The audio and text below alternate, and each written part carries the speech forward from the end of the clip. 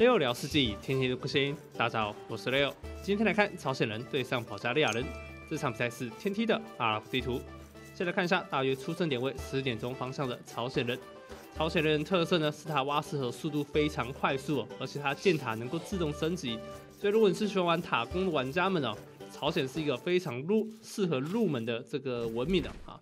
而且后期呢也可以点下一层技术，可以让建塔射程变得更远了。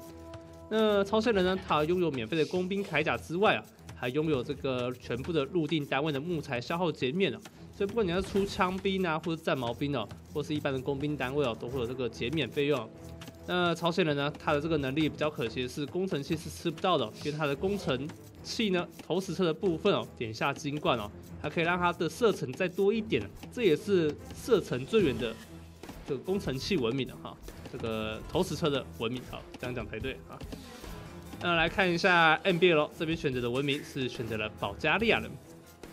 保加利亚人最大的特色哦，是他的马镫技术哦，它可以让他的骑兵的攻击速度哦变成游戏里面攻击速度最快的文明哦，这个能力哦非常可怕，可以想象日本武士哦套用在骑兵身上哦，这个伤害者就非常可观啊。那保加利亚人比较可惜的部分是工兵没有办法升级，封建时代工兵不能安太多。那保加利亚人的中后期也可以考虑打这个重装马弓路线啊，有这个拇指环敢险战术，而且没有三级的工兵铠甲。后期虽然有双手剑兵，但是没有剑勇，因为它的剑兵性呢会自动升级哦。那后期呢也可以考虑点下协议科技哦，增加这个近战防御力、民民兵系的防御力啊。那整体来说，保加利亚人比较值得一提的是，他的这个兵工厂的科技哦，全部的食物都是半价的，所以在前期哦，要尽可能去点这一攻一防，去跟对方换这个科技哦，才可以打出自己的优势来啊。而且他后期的工程器单位的升级呢，也是半价了，所以可以看到这边重型投石车哦，食物只要七二五，但是黄金一样是要一千块啊。好，我们接下来看一下两边的地图。那目前看起来，NBL 这边地图还算是 OK 哦，因为有块黄金在后方，主金在左边，在这里，这里能够维持的话，应该就没什么问题。待会就只要守这个地方就行了哈。整体来说问题不太大，而且后面还有块石头，没问题没问题。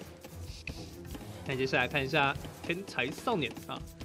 呃，这边左于左边有一块黄金，后面有一块黄金的位置，只有主金位置比较糟糕，后面这两块附近的位置哦还能接受啊，而且果子也在后面哦，还可以哦。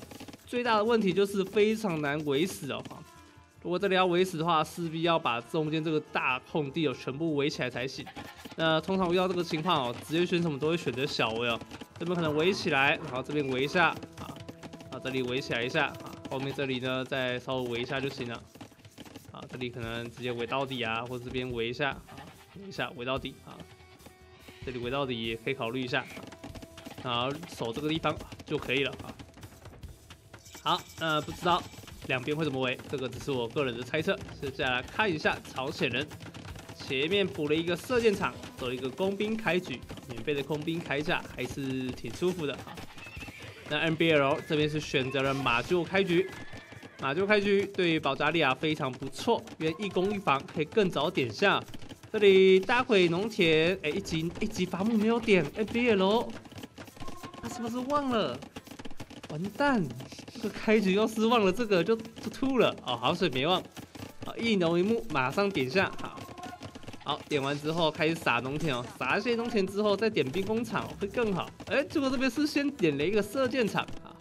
好，NBL 这边的想法是要用落马进攻，OK，抓掉一只村民了，用落马进攻，然后用射箭场毛兵防守哈，这个打法很明确。哎呦，少年又戳掉了一只啊！好，NBL 这边要小心，现在只剩下一只落马，影响力没有那么的大，千万不能再送掉这只落马。好，这里想要进入防守模式喽，毛兵赶快补。现在右边来不及围好，左边已经溜了进来。NBL 这只落马给不到压力，对手已经大军压境了。这里没有打双尾吗？哎，没有打双尾。好，看一下 NBL 怎么防守这一波。好，这只残血村民会被砍死，一村拿下，漂亮了。现在是一比一的战绩。好，残血肉马解决，兵工厂，赶快点，这要点兵工厂了，再不补兵工厂要怎么打？补在后面吗？OK，赶快补。保加利亚人这边赶快补哦，科技食物半价的优惠，点个一级色只要五十食物，一只村民的价格，防御力也是啊，早点补，早点有优惠啊啊！那朝鲜人这边则是一攻一防都有了，这个投资完全不同，人家投资一级防是很干脆的啊。好，毛兵解决掉，好，那这样落马就可以考虑先上了，落马上，毛兵输出就可以更稳定一些。好，剩下一支工兵了。好，工兵还在秀，还在秀。好，只要只要保护好落马就没问题，落马解决。剩下的毛兵，MBL 这波守的不错，一攻一防都点下了。好，一攻一防点下只需要一百十五跟五十黄金而已。好，NBL 这边没有看探到底吗？好，这毛兵过来看到底，终于看到了啊。不然他这边是想要直接围到下面去，是不是？啊，这个围到下面的这资源消耗量就很可怕了哈。好，那这里也终于要围死。好，朝鲜人决定是把自己家里往往下围而已，并没有这里围到底，毕竟这个围的范围实在是太大了哈。那果不其然，右边是一个开放的区域，可以让对手进来啊。但是待会到中后期啊，还是可以考虑插箭塔做防守啊。毕竟朝鲜的箭塔可以自动升级。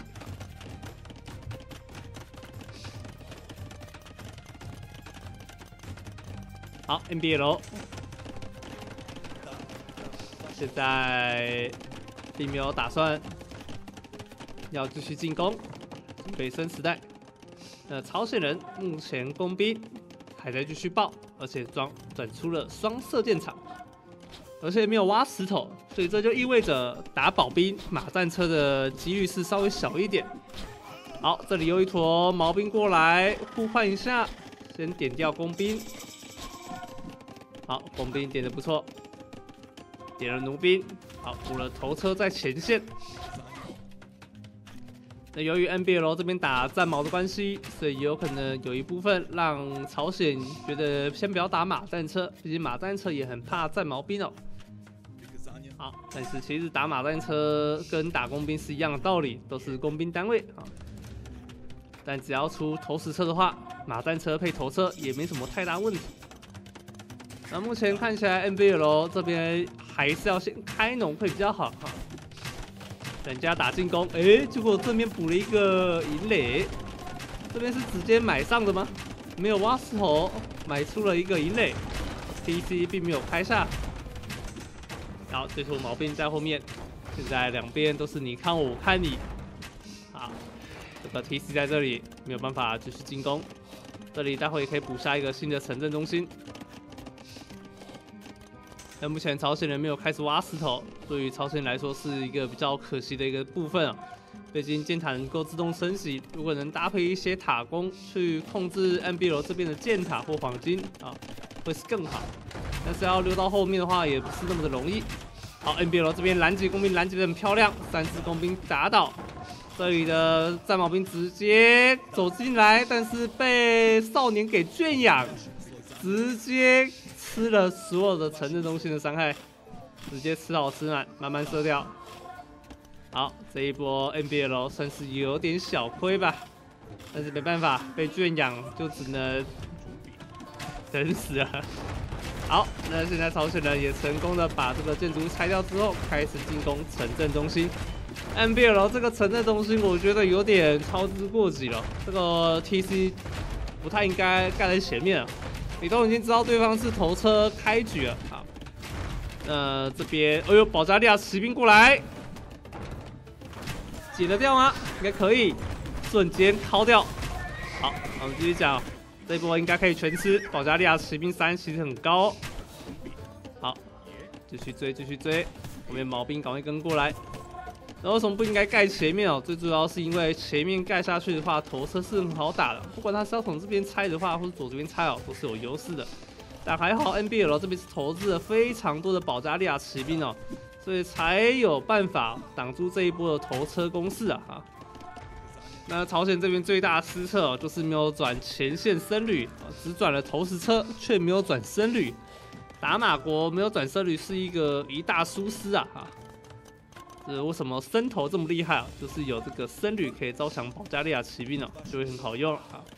好，那这一波 NBL 大暴兵，虽然村民落后，但是现在军事已经反转了，可以打赢现在少女的兵力。那如果刚刚要开 TC 的话，其实也可以考虑直接开在牧区或是果这个守区啊，都是可以考虑一下的。排在前面风险其实有点大，如果是我们一般玩家的话，现在这个 TC 应该早就没了啊。但还好 NBL 这边对应方式很快啊。好，朝鲜人点一下手推车，两边应该是会进入开农状态。因为现在朝鲜哦已经损失了前线部队，部队要重新聚集起来也不容易，毕竟自己也开了 TC，这段时间大约会五分钟的开农期哦，不会有太多的打斗。那 NBL 这边也补下 TC，所以意味着暴兵期应该是稍微结束啊，待会先农下才会再继续进攻了啊。好，朝鲜这边开始转出防御箭塔，开始防守了。边防守边控图，好，这一根防御箭塔建好，又来一根连环塔，OK，那可以保住这块石矿，只要石头不被 NBL 挖走，那就没什么太大问题。毕竟人家的营垒也是一个很麻烦的建筑物啊。好，现在赶快把自己家里当香炉插爆，会比较好啊。现在防守来说，朝鲜人有明显的机动性不足的问题。这边来说，头车配工兵这个组合也是有点吃力。要是 NBL 有这个心要直接硬冲的话，还是有机会可以把这坨兵给打掉。但是现在有防御箭塔在，NBL 应该不会硬硬上。好，头车砸一发，再往前走，想要砸村民，但是保加利亚骑兵往前。好，躲掉了一发突车伤害之后，保加利亚骑兵怎么没有先打投石车？NBL 这波操作是不是有点瑕疵？但是没问题，还是成功的把两台投车拿下，而且同时靠掉了非常多的工兵。好，NBL 算是还行。哈，这个虽然还是被投车砸到了一发啊，这个战矛兵的血量掉的有点多。好，呃，现在这个银垒有点微妙啊，射不到人家的防御箭塔啊，要是能射得到的话，就比较好一点。好，现在点下了跟踪技术，现在刚刚没点啊，跑的这么慢啊。OK，这里哇抓了好多村，而且保加利亚骑兵一开始伤就十二点了，即使不点这个一攻，打村民也只需要四下，很痛很痛。保加利亚骑兵的伤害是非常可怕的。好，这里直接拉村民过来守尸，但是守尸完一只，你还要再守尸第二次，人家会下马继续敲你头的，完蛋了，完蛋了，村民赶快走才对。哇，这就是我们刚刚说到了，朝鲜这个搭配组合最大的问题就是防御机动性不够啊，人家是保加利亚骑兵，家里要插先箭塔才会比较好防守啊，但是现在家里并没有插箭塔。好，这里保加利亚人转出了冲车，开始要来拆除防御箭塔。但是朝鲜已经顺利利的点下了帝王时代，NBL 想要趁这一波攻势打残少年，感觉是有机会的哦。村民数已经差距打出来了，差了十五村。好，这两只村民，要，不是两台冲车，要小心，村民会手撕冲车。NBL 没有脑冲，选择拉回。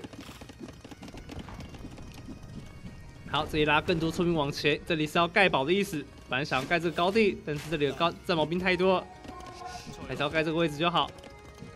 盖这个位置，反制一下营垒。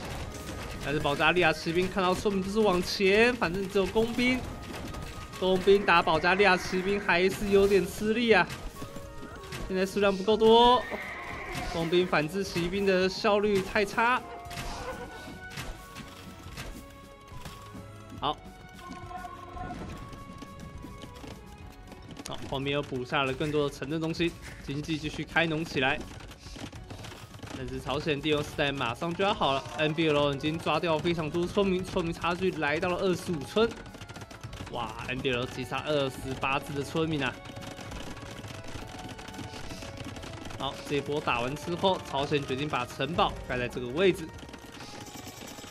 这一波又来 NBL，继续用保加利亚骑兵争取时间。工兵就要回救了吗？一直回救就不能骚扰。没有办法骚扰，就只能一味防守。哇哇哇！这一波城堡盖这个位置有点赌命啊！好，第二时代一到，大型电塔也自动升级好了。但投石车没有赶快砸冲车吗？砸了一发，结果被保加利亚骑兵给打掉。第二台投石车要赶快把冲车给解决掉。好，结果冲车来了，顶到巨型投石机，回头砸一发，死先解掉。好，冲车全搞定，两只保加利亚骑兵，最后是没有拆掉巨型投石机，但是后面的保加利亚骑兵好像被工兵给解掉了哈。现在少年有点难受，八十村打一百二十一村。NBL 点下了二级农田帝王时代，目前化学强弩也点了。补了一个挖机，走推车。现在巨型头 C 可以慢慢拆掉这边的围建。NBL 努力的在修理营垒，争取一些时间。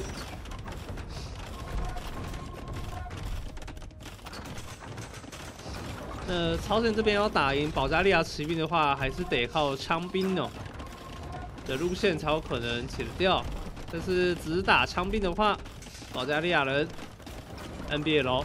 他的保加利亚骑兵下马版本就可以打爆枪兵，所以这个保加利亚骑兵是一个很难解干净的单位啊！好，这里点下了马镫技术，待会就可以使用攻速加成的骑兵了。好，中间补了两根大型箭塔。好，终于想到要用箭塔防守家里了，一直被弄。终于受不了了，赶快补箭塔才是正解啊！那现在朝鲜人三级射也有了，射程也来到最高了吗？银冠好像还没有点哦。对，银冠还没有点，一层技术先补一下。哦，来了！NBL 这一坨骑兵冲进来，三级马卡已经好了，远方是五点，大石机塔是八加四，这个科技还没有点啊。剑槽剑匣槽，好，所以剑塔伤害还没有到最高。好，好，到处在建剑塔了。朝鲜终于建起了剑塔防守，巨型投石机跟枪兵火炮，啊，不是枪兵，火炮配工兵，好，好，这一坨村民被追杀当中。朝鲜家里没有枪兵，只有大型箭塔，防守还是有点吃力。现在家里一片荒芜，村民被击杀，快要来到了五十只。保加利亚人打得太舒服了，但自家的营垒也被拆掉了三根。哇，中间这里大部分地区都被拿下。NBL 后面要赶快重新打起农田才行，而且营垒变少了，也意味着自己的保加利亚骑兵产能也变少。好，现在村民数九十八村对一百二十九村，分差距三十哦。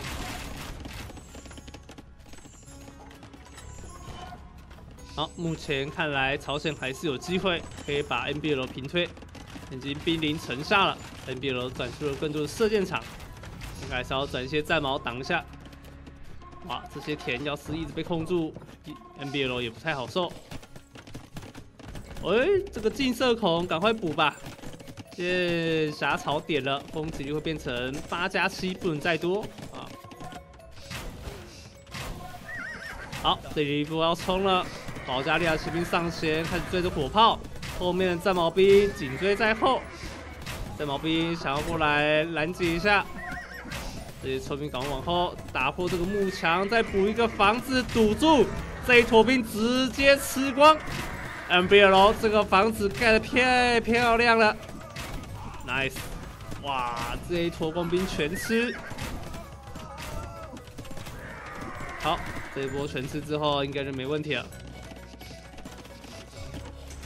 好，那家里的保加利亚骑兵终于数量只剩下两三只，骚扰的时间也算是够久了。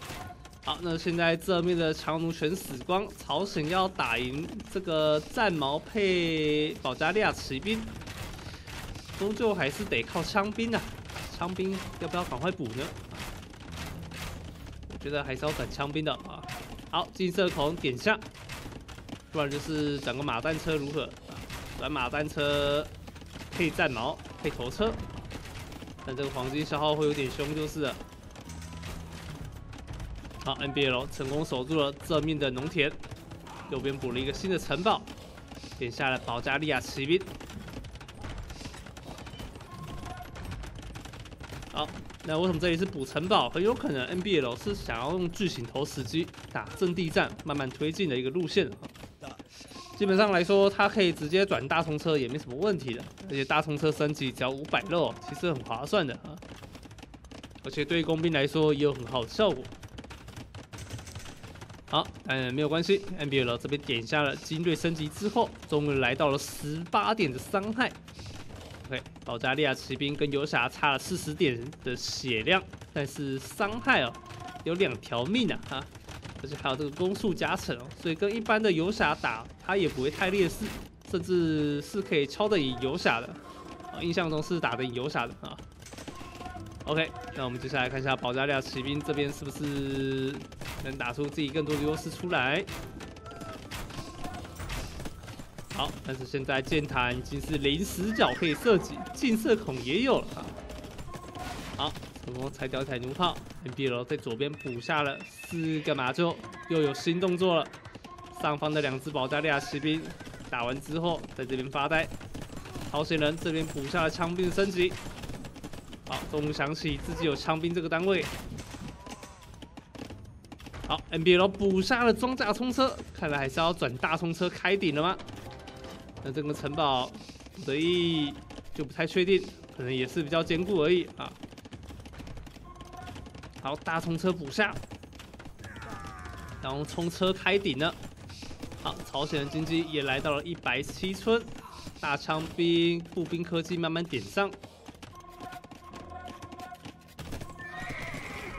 好，但这些箭塔数量实在太多，保加利亚骑兵进去就一直被 poke，血量都很残。好，这里看到城堡，巨头赶快架起来，两台火炮直接攻城吧。好，保加利亚骑兵加肉马过来了，后面又有几只，这边要上了吗？感觉有点太早了。三级的步兵铠甲也点下，后面的臭兵想要补一下城门，但是来不及到前线。那波保加利亚骑兵摸到了后方的火炮，火炮全部倒地，工兵部分也全部死光。马镫技术让这些骑兵攻击速度实在太快，瞬间秒杀了朝鲜人所有的单位。哇，只剩下大石箭塔能够守住了。OK，而且保加利亚人还拥有大陆马的升级，待会马镫技术就要疯狂爆砍了。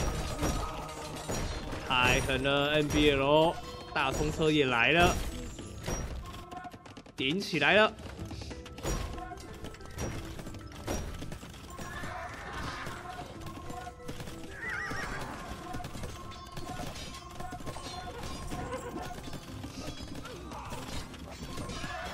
好，四台冲车开始往前，工程公司点下，高速工程启动。后面战矛兵往前顶掉枪兵强弩。我有战矛就能打你强弩配枪兵的路线，但是你不抽枪兵，保加利亚骑兵就很难受。OK，这个转兵来说，NBL 打的还是很漂亮。